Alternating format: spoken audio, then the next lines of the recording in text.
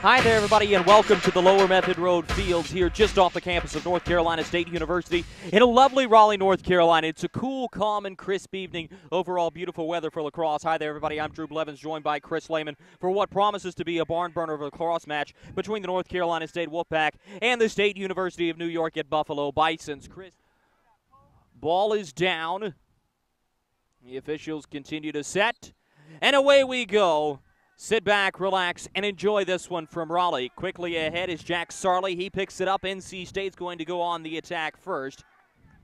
And they'll look to pass around the perimeter. So good at doing that. That's how they're going to manufacture a majority of their offense.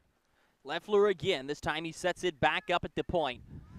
Good movement of the ball here by the Buffalo Bisons. NC State's defense has been solid as well, though. They haven't put anything on to Brady Edwards. A couple of block shots for the Wolfpack.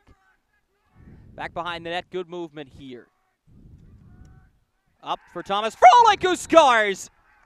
Frolik with an absolute rip from about 20 feet down. It's the Buffalo Bisons who draw first blood. Buffalo in the white lids. Taking here, good slicing action by Pete Flood as he sends that one back out. Matt Bozek over for Flood once again. Spin move. He's being hassled. Quick shot, a little bouncer off of Brady Edwards. Back even now. Hack and whack time. Body check laid. Somehow, magically, Ryan McCart gets through with possession. He's whacked from behind. State picking up the ground ball now. Little bouncer. Nope, Buffalo's got it. State continues to possess. This will be sent right back out by Nick Davis. He's got Deaver.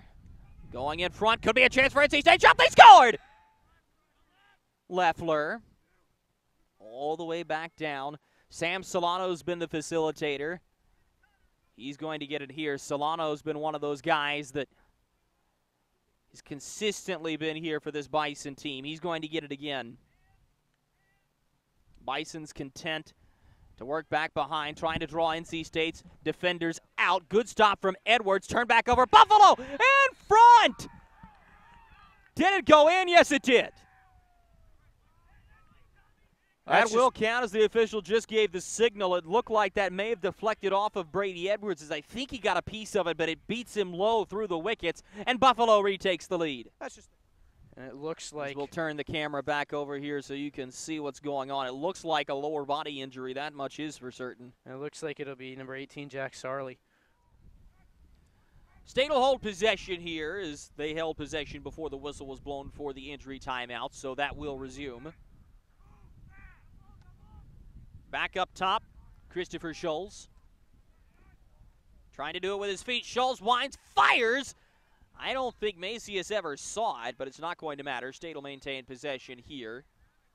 Nope. It's on the ground again. State's got it. Poor turnover. Cole Deaver on the fast break sends it across. State ties the game. Oh, what a finish. Another one goes in for the Wolfpack. And that one is going to be number 23, Miller Barber, the sophomore midfielder from Charlotte, who puts that one home. That's spectacular, Chris. On the fast break quickly. No, I take that back. Misread the number. It's going to be Jesse Melton instead for his second of the game. Uh, you got to be impressed there with Melton as he's using his speed to get back behind the defense. Deaver once again finds him with a solid pass to knot this things up deuces apiece. Ground ball off of the face-off. Overhand whack. Mastriani takes it. Solid pass up for Deaver. Here comes the Wolfpack again. Hound dogged by number 14, McCart. In front. Again, a bounce shot misses. Ott over for Froelich once again for Frankie Leffler. In front, Ott slicing and dicing, sent it over the bar.